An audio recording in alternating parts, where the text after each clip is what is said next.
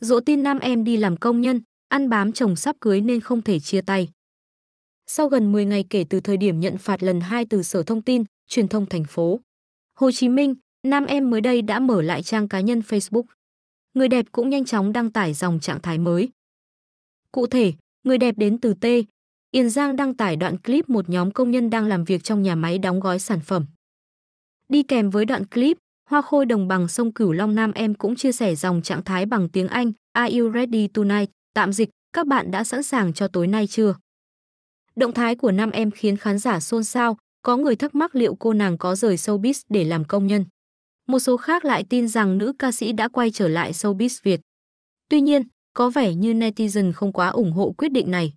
Bởi lẽ mọi người cho rằng nam em cần thêm thời gian để điều chỉnh cảm xúc của bản thân, tránh rơi vào những rắc rối như trước kia. Giữa lúc dân tình còn bán tín bán nghi thì nam em lại gây hoang mang khi livestream nói về chồng sắp cưới Bùi Hữu của ông. Ừ. Cụ thể, nam em đã tiết lộ rằng cô phải đền một hợp đồng quảng cáo trị giá vài trăm triệu đồng, nhưng cô không có đủ tê, yên để thanh toán. Bạn trai của cô đã đảm nhận việc thanh toán số tê, yên này cho đối tác. Nam em cho biết cô đã hết tê, yên nên bạn trai sắp cưới là người trụ cột của gia đình. Cả hai đã quyết định tập trung vào kinh doanh.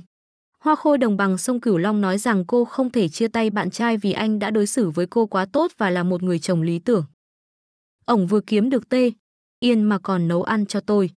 Tính ra sau này, ổng mà có nhiều tê, yên là tự động trở thành người chồng quốc dân.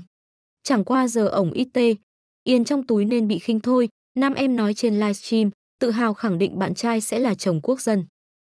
Hiện tại, sau loạt lùm xùm, nam em đã tạm ngừng toàn bộ hoạt động ca hát do liên tục gặp phải tình trạng bị hủy sâu. Trước đó, sau buổi làm việc lần 2 với nam em, Sở Thông tin, Truyền thông thành phố, Hồ Chí Minh Sở Thông tin, Truyền thông thành phố, Hồ Chí Minh đã ra quyết định mức phạt tăng nặng là 10 triệu đồng. Đồng thời kiến nghị Bộ Thông tin và Truyền thông xem xét, xử lý ngăn chặn đối với hai tài khoản Facebook và TikTok của người đẹp T. Yên Giang. Trong bài đăng cuối cùng trên trang cá nhân thời điểm đó, nam em khuyên mọi người không nên dại dột như mình để rồi vừa nhận phạt lại bị công chúng chỉ trích. Người đẹp T. Yên Giang cũng tuyên bố về việc quay trở lại showbiz, đừng có ai dại dột mà như tôi, không sao mà còn đi nộp phạt rồi bị xã hội mắng nữa. Bây giờ C. Hết thì nhục lắm nên phải sống. Có tiêu cực thì cố gắng đi ngủ, trầm cảm mà không chỉ là hại mình, hại người. Năm 2024 không còn đất cho người trầm cảm tóc xì nữa. Không thích nghi được cũng cố mà thích nghi. Cuộc sống này là phải sinh tồn. Cá sống là cá bơi ngược dòng, người sống là người phải keep going.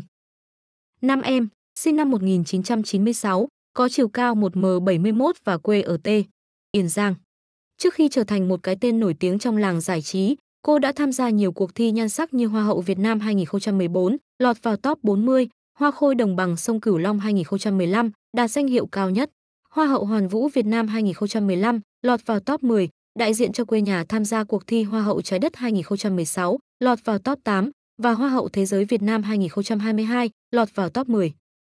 Sau nhiều lần vướng ồn ào tình ái, đến năm 2023, nam em quyết định công khai bạn trai doanh nhân Bùi Hữu Cường sau 9 tháng yêu nhau. Cả hai từng tuyên bố dự định sẽ kết hôn vào tháng 4 năm 2024 nhưng liên tục vướng lùm xùm phát ngôn khiến dân tình ngán ngẩm.